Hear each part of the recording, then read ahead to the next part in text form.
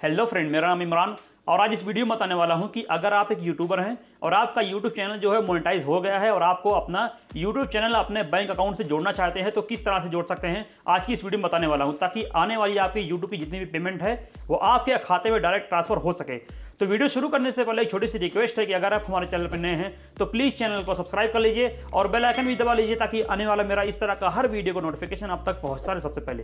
तो चलिए वीडियो शुरू करते हैं। तो क्रूम ब्राउज़र को ओपन कर लेना है।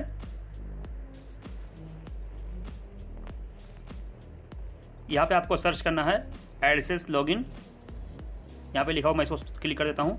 यहाँ पे फ़र्स्ट वाले पे लिखा हुआ है साइन इन गूगल एडसेस इस पर क्लिक करना है। अब यहाँ पे आपको अपना ईमेल आईडी जितना भी रहेगा दिख जाएगा। यहाँ पे आपको जिस ईमेल आईडी से आपने अपना यूट्यूब चैनल बनाया हुआ है, या एडसेस बना हुआ है, उस पर क्लिक करना है। तो मैं वही वाला चूज़ कर लेता हूँ।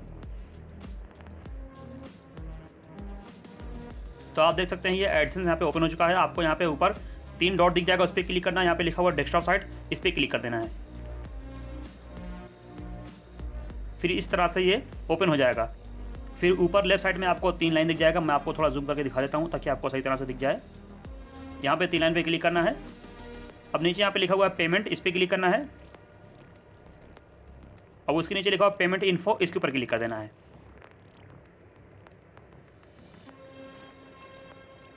फिर कुछ इस तरह से ओपन हो जाएगा। यहाँ पे आपको जितनी भी आपकी पेमेंट रहेगी, आपको दिख जाएगी। तो यहाँ पे लेफ़्ट साइड में, यहाँ पे आप देख सकते हैं राइट साइड में। यहाँ पे यहाँ पे लिखा हुआ है हाउ टू गेट पैड अब यहाँ पे एक ब्लू कलर लिखा हुआ ऐड पेमेंट मेथड इस पर क्लिक करना है। फिर इस तरह से यहाँ पे फ़र्स्ट में लिखा हुआ एड न्यू ट्रांसफ़र डिटेल तो यहाँ पे फ़र्स्ट वाले पे आपको क्लिक करना है।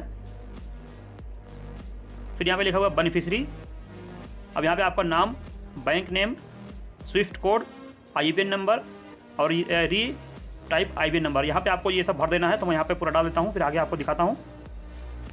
तो फ़र्स्ट में लिखा हुआ है बेनिफिशियरी आईडी यहाँ पर आपको कुछ भी नहीं डालना। यहाँ पे आप गलती ना करें, क्योंकि पहले में ही लोग अपना नाम डाल देते हैं तो यहाँ पे आपको फ़र्स्ट में कुछ भी नहीं डालना, उसमें छोड़ देना है।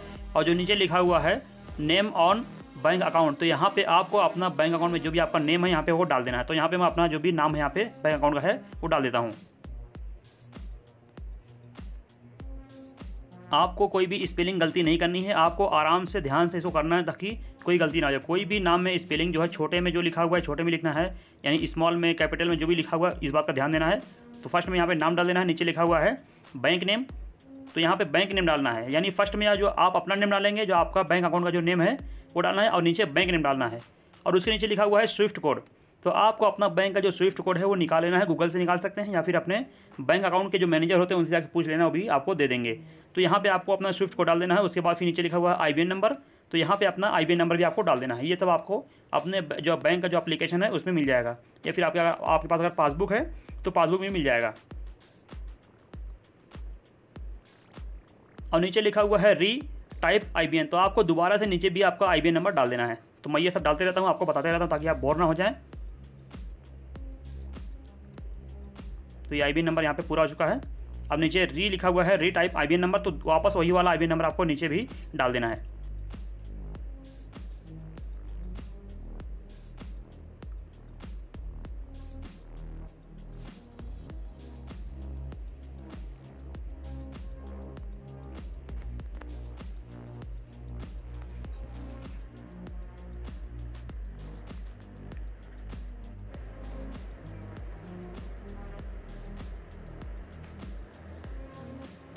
तो आप देख सकते हैं, ये आई नंबर दोनों पूरा हो चुका है, आपको नीचे लिखा आना यहाँ पे लिखा हुआ है सेव तो इस पर आपको क्लिक कर देना है। थोड़ा सा इंतज़ार करें। तो आप देख सकते हैं, इस तरह से ओपन हो जाएगा। यहाँ पे मेरा जो बैंक अकाउंट का जो नेम था, यहाँ पे दिख रहा है, मेरा अकाउंट नंबर जो था, वो भी यहाँ पे चार नंबर यहाँ पे मेरे को दिख रहा है। तो हो सकता है हमारे पास मेल भी आए। तो ये आप मेल भी आ गया, हम मेल भी चेक कर लेते हैं।